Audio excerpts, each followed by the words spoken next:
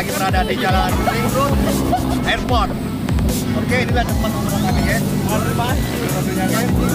Ada juga orang main trail. Ya, inilah, inilah. Oke. Oke, selanjutnya.